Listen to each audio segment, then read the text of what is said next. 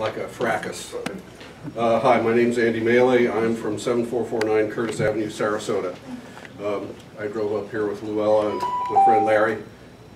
Cut me off already? So, um.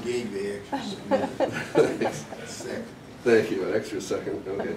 Um, I, uh, I have master's degree in environmental science, bachelor's degree in environmental science, uh, uh, 20 years' experience in the environmental, in the public sector of the environmental uh, universe.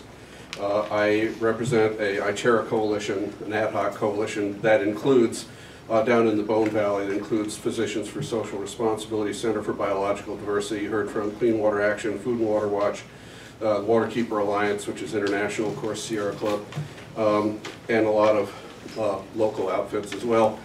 And we are, um, we're working on phosphate mining.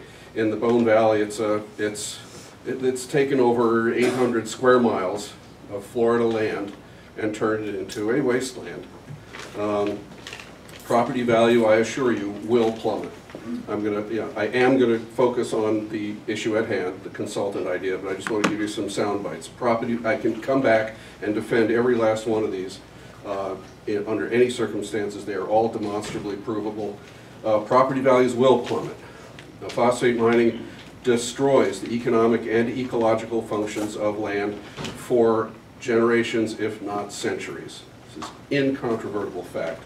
It draws down water table, there are human health impacts, you heard from, we don't really even know the extent of the human health impacts because the EPA and the Departments of Health are too scared to come in and look. The best anybody can do is these uh, sort of lame correlation studies, and they're just totally inadequate. Um, Waste production, the ra- ratio of waste to product is five to one in phosphate mining.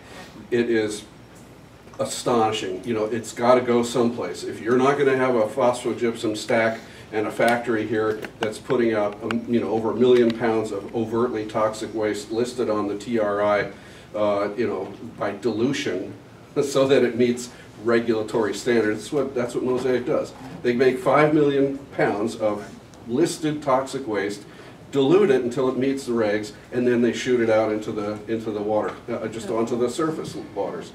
Um, Expect your wells to become contaminated. I'm gonna run out of time, I'm gonna beg you for some extra time too, because I did drive four hours to get here.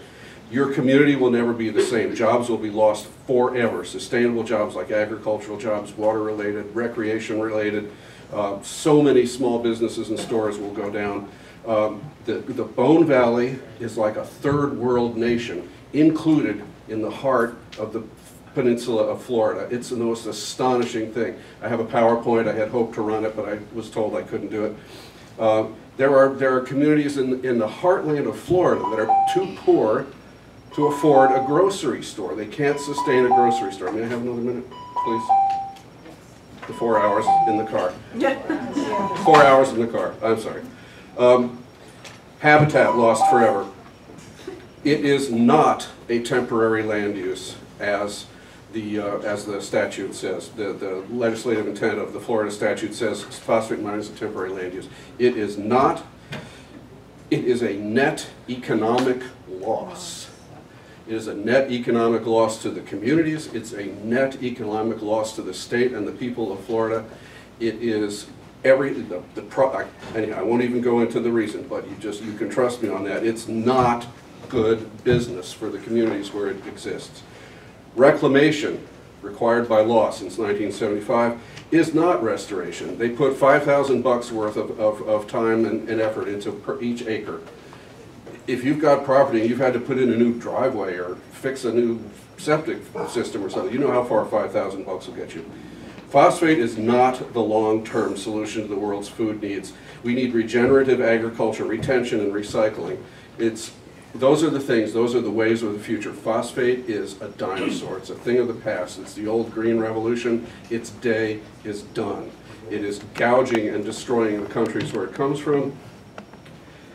This is, I think, I have demonstrated just with my little list of sound bites, a deeply complex and really difficult thing to get your arms around. The importance of a competent and highly skilled consultant cannot be overestimated. This will overwhelm your staff. it overwhelms everybody's staffs. You know, Manatee County, where I work a lot, Sarasota County has an ordinance against, uh, against phosphate mining. Um, But uh, Hardee County, Polk County, like, like Luell said, it is the waste county of central Florida. You gotta find out where the stuff is gonna go, and you gotta consider the ethical impacts of the waste that goes out. I know that you're not doing this because you want to, I know you're doing this because you have to. You have to respond, you're legally obligated to respond to a permit application. I know this is not your idea of a hot time on a Thursday night, or whatever night it is. I was in a county commission meeting all day yesterday, too. Um, So, okay, keep the community involved in the process. Please, I beg you. You will get the best information to ensure your legacy for the future if you keep the community involved, the experts and just the regular old people. Have a citizens advisory committee, use it. Have the consultant manage it, have, you know, obviously the, the applicants at the table too, but have citizens stay involved. Nothing is worse than cutting your citizens out of a process like this. I will be the first volunteer for your citizen committee. I will come up here. I am something of an expert in phosphate mining. I will volunteer my time to come up here when you need me to participate in those meetings. And I have a very good friend who has a six-seat Cessna, a beautiful little high-wing plane, flies it out of Tampa. We can come up here, pick you up, take you for a ride over the phosphate mines, and you can see for yourself what they do to the communities.